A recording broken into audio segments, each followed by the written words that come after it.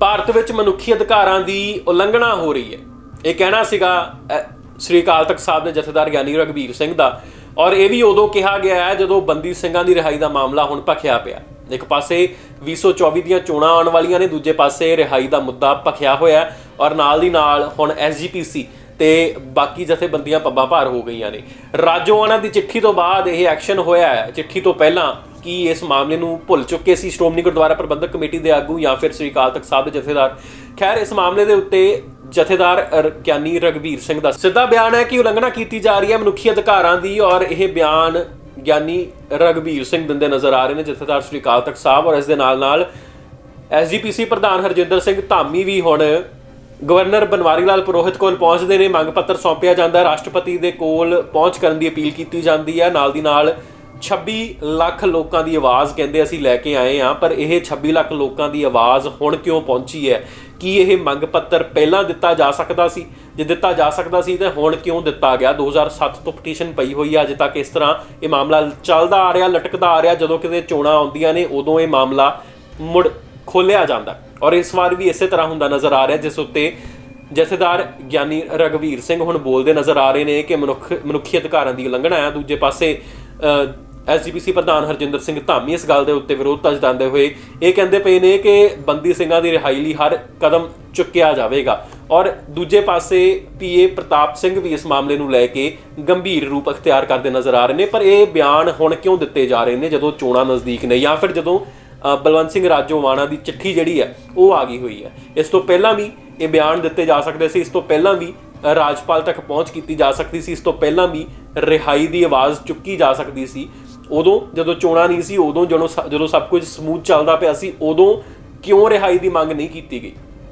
ਇਹ ਸਵਾਲ ਪਰਜ਼ੋਰ ਖੜੇ ਹੋ ਰਹੇ ਨੇ, ਪਰ ਇਸ ਮਾਮਲੇ ਨੂੰ ਲੈ ਕੇ ਜਥੇਦਾਰ ਗਿਆਨੀ ਰਗਵੀਰ ਸਿੰਘ ਐਸਜੀਪੀਸੀ ਪ੍ਰਧਾਨ ਹਰਜਿੰਦਰ ਸਿੰਘ ਧਾਮੀ ਤੇ ਪੀਏ ਸਰਦਾਰ ਪ੍ਰਤਾਪ ਸਿੰਘ ਦਾ ਕੀ ਕੁਝ ਕਹਿਣਾ ਸੀ, ਆਓ ਤੁਹਾਨੂੰ ਸੁਣਾ ਦਿੰਦੇ ਹਾਂ। ਬੜੇ ਲੰਬੇ ਅਰਸੇ ਤੋਂ ਸਾਡੇ ਬਹੁਤ ਸਾਰੇ ਜਿਹੜੇ ਜੁਝਾਰੂ ਵੀਰ ਆ, ਉਹ ਜੇਲ੍ਹਾਂ ਦੇ ਵਿੱਚ ਬੈਠੇ ਆ। ਜਿਨ੍ਹਾਂ ਦੀ ਸਜ਼ਾ ਵੀ ਲਗਭਗ ਇੱਕ ਨਹੀਂ, ਦੋ ਦੋ ਗੁਣਾ ਹੋ ਚੁੱਕੀ ਆ। ਜੇ 20 ਸਾਲ ਕੱਟਣੇ ਹੁੰਦੇ 33 33 34 34 ਸਾਲ ਹੋ ਗਏ ਆ। ਉਹਨਾਂ ਸਾਰਿਆਂ ਦੀ ਸਮੁੱਚਿਆਂ ਦੀ ਰਿਹਾਈ ਲਈ ਤੇ ਭਾਈ ਬਲਵੰਤ ਸਿੰਘ ਜੀ ਰਾਜੋਵਾਣਾ ਜਿਨ੍ਹਾਂ ਦੀ ਇਹਨਾਂ ਨੇ ਡੈਥ ਸੈਂਟੈਂਸ ਨੂੰ ਲਾਈਫ ਇੰਪ੍ਰਿਜ਼ਨਮੈਂਟ ਵਿੱਚ ਕਰਨ ਦਾ ਨੋਟੀਫਿਕੇਸ਼ਨ ਵੀ ਕੀਤਾ ਜਾ ਚੁੱਕਾ। ਸਤਿਗੁਰੂ ਗੁਰੂ ਨਾਨਕ ਦੇਵ ਪਾਤਸ਼ਾਹ ਜੀ ਦੇ 500 ਪਜਾਮੇ ਪ੍ਰਕਾਸ਼ ਉਤਸਵ ਦੇ ਉੱਤੇ prime minister sahib honourable home minister sahib ਉਹਨਾਂ ਨੇ ਇਹ ਐਲਾਨ ਵੀ ਕੀਤਾ ਸੀ। ਤੇ ਇੱਕ ਸਾਡੀ ਪਟੀਸ਼ਨ ਵੀ ਸੁਪਰੀਮ ਕੋਰਟ ਦੇ ਵਿੱਚ ਸ਼੍ਰੋਮਣੀ ਗੁਰਦੁਆਰਾ ਪ੍ਰਬੰਧਕ ਕਮੇਟੀ ਦੀ, ਕਿਉਂਕਿ ਅਸੀਂ ਮਾਰਸੀ ਪਟੀਸ਼ਨ ਪ੍ਰੈਜ਼ੀਡੈਂਟ ਕੋ ਪਾਈ ਸੀ, ਉਹ ਸੁਪਰੀਮ ਕੋਰਟ ਦੇ ਵਿੱਚ ਡਿਸਪੋਜ਼ ਆਫ ਵੀ ਹੋ ਚੁੱਕੀ ਆ। ਤੇ ਉਹਨਾਂ ਨੇ supreme court honourable supreme court ਨੇ ਹੁਕਮ ਕੀਤਾ ਸੀ ਕਿ ਸਰਕਾਰ ਆਪਣੇ ਤੌਰ ਤੇ ਇਹਦੇ ਤੇ ਫੈਸਲਾ ਲੈ ਲਵੇ। ਤੇ ਹੁਣ ਸਾਲ ਉਹਨੂੰ ਵੀ ਹੋ ਚੱਲਾ, ਉਹਦੇ ਤੇ ਕੋਈ ਫੈਸਲਾ ਨਹੀਂ ਲਿਆ ਜਾ ਰਿਹਾ। ਭਾਈ ਬਲਵੰਤ ਸਿੰਘ ਰਾਜੋਵਾਣਾ ਉਹਨਾਂ ਨੇ ਦੋ ਚਿੱਠੀਆਂ ਵੀ ਸ਼੍ਰੀ ਅਕਾਲ ਤਖਤ ਸਾਹਿਬ ਨੂੰ ਲਿਖੀਆਂ। ਅਸੀਂ ਪਹਿਲਾਂ ਵੀ ਯਤਨ ਕਰਦੇ ਰਹੇ ਹਾਂ ਤੇ ਹੁਣ ਵੀ ਯਤਨਾਂ 'ਚ ਹਾਂ ਕਿ ਉਹਨਾਂ ਦੀ ਜਿਹੜੀ ਡੈਥ ਸੈਂਟੈਂਸ ਆ, ਉਹਨੂੰ ਲਾਈਫ ਇੰਪ੍ਰਿਜ਼ਨਮੈਂਟ ਜੋ ਸਰਕਾਰ ਨੇ ਵਾਅਦਾ ਕੀਤਾ ਸੀ, ਉਹਨੂੰ ਤੁਰੰਤ ਡਿਸਪੋਜ਼ ਆਫ ਕਰੇ। ਜੋ ਕਿ ਸਭ ਤੋਂ ਵੱਡਾ ਲੋਕਤੰਤਰ ਭਾਰਤ ਦੇਸ਼ ਹੈ। ਉਹਦੇ ਵਿੱਚ ਮਨੁੱਖੀ ਅਧਿਕਾਰਾਂ ਦੀ ਖਾਸ ਕਰਕੇ ਸਿੱਖਾਂ ਦੇ ਮਨੁੱਖੀ ਅਧਿਕਾਰਾਂ ਦੀ ਉਲੰਘਣਾ ਜਿਹੜੀ ਹੈ ਬਹੁਤ ਵੱਡੇ ਪੱਧਰ ਤੇ ਹੋ ਰਹੀ ਹੈ। ਔਰ ਜੋ ਪਿਛਲੇ ਸਮੇਂ ਸੰਗਤ ਨੇ ਆਪਣੀਆਂ ਭਾਵਨਾਵਾਂ ਲਿਖਤੀ ਰੂਪ ਵਿੱਚ ਪ੍ਰਗਟ ਕੀਤੀਆਂ ਨੇ ਕਿ 26 ਲੱਖ ਦੇ ਪ੍ਰੋਫਾਰਮੇ ਜੋ ਸੰਗਤ ਨੇ ਸਾਈਨ ਕਰਕੇ ਦਿੱਤੇ ਹੋਏ ਨੇ ਕਿ 30 30 ਸਾਲਾਂ ਤੋਂ ਬੰਦ ਜੇਲ੍ਹਾਂ ਵਿੱਚ ਬੰਦੀ ਸਿੰਘ ਨੇ ਉਹਨਾਂ ਦੀ ਰਿਹਾਈ ਹੋਣੀ ਚਾਹੀਦੀ ਹੈ। ਔਰ ਗਵਰਨਰ ਪੰਜਾਬ ਨੇ ਸਮਾਂ ਦਿੱਤਾ ਹੈ ਕਿ ਜੋ 26 ਲੱਖ ਪ੍ਰੋਫਾਰਮੇ ਨੇ ਗਵਰਨਰ ਦੇ ਪਾਸ ਭੇਜੇ ਜਾਣ ਔਰ ਪਿਛਲੇ ਲੰਬੇ ਸਮੇਂ ਤੋਂ ਭਾਈ ਬਲਵੰਤ ਸਿੰਘ ਜੀ ਰਾਜੋਵਾਣਾ ਜੋ ਕਿ ਤਕਰੀਬਨ 17 ਸਾਲ ਤੋਂ ਫਾਂਸੀ ਦੀ ਚੱਕੀ ਵਿੱਚ ਬੰਦ ਹੈ 8 ਬਾਏ 8 ਫੁੱਟ ਦੀ ਉਹ ਚੱਕੀ ਹੈ ਔਰ ਪਿਛਲੇ 11 ਸਾਲ ਤੋਂ ਉਹਨਾਂ ਦੇ ਫੈਸਲੇ ਦੀ ਜਿਹੜੀ ਪਟੀਸ਼ਨ ਹੈ, ਉਹ ਵੀ ਕੇਂਦਰ ਸਰਕਾਰ ਦੇ ਕੋਲ ਪੈਂਡਿੰਗ ਪਈ ਹੋਈ ਹੈ। ਉਹਦਾ ਫੈਸਲਾ ਨਾ ਕੀਤਾ ਜਾਣਾ ਜਦ ਕਿ ਰਜੀਵ ਗਾਂਧੀ ਦੇ ਕਾਤਲ ਛੁੱਟ ਚੁੱਕੇ ਨੇ, ਬਿਲਕਿਸ ਬਾਨੋ ਦੇ ਪਰਿਵਾਰ ਦੀ ਹੱਤਿਆ ਕਰਨ ਵਾਲੇ ਛੁੱਟ ਚੁੱਕੇ ਨੇ ਪਰ ਇਹ ਬੰਦੀ ਸਿੰਘ ਜਿਨ੍ਹਾਂ ਨੇ ਆਪਣੇ ਹੱਕਾਂ ਦੀ ਪ੍ਰਾਪਤੀ ਵਾਸਤੇ ਧਰਮ ਯੁੱਧ ਕਰਦਿਆਂ ਹੋਇਆਂ ਜੋ ਜੇਲ੍ਹਾਂ ਦੇ ਵਿੱਚ ਗਏ ਨੇ, ਉਹਨਾਂ ਦੀ ਬੰਦ ਖਲਾਸੀ ਨਾ ਕਰਨਾ ਇਹ ਭਾਰਤ ਸਰਕਾਰ ਦੇ ਮੱਥੇ ਤੇ ਲੋਕਤੰਤਰ ਦੇ ਉੱਤੇ ਬਹੁਤ ਵੱਡਾ ਇੱਕ ਕਲੰਕ ਹੈ ਔਰ ਅੱਜ ਗਵਰਨਰ ਪੰਜਾਬ ਨੇ ਸ਼੍ਰੋਮਣੀ ਗੁਰਦੁਆਰਾ ਪ੍ਰਬੰਧਕ ਕਮੇਟੀ ਨੂੰ ਸ਼ਾਮ ਦਾ ਸਮਾਂ ਦਿੱਤਾ ਔਰ ਮਾਨਯੋਗ ਪ੍ਰਧਾਨ ਸਾਹਿਬ, ਅਹੁਦੇਦਾਰ ਸਹਿਬਾਨ ਅੱਜ ਇੱਕ ਵਫਦ ਲੈ ਕੇ 26 ਲੱਖ ਪ੍ਰੋਫਾਰਮੇ ਲੈ ਕੇ ਗਵਰਨਰ ਪੰਜਾਬ ਨੂੰ ਸੌਂਪਣ ਵਾਸਤੇ ਜਾ ਰਹੇ ਨੇ।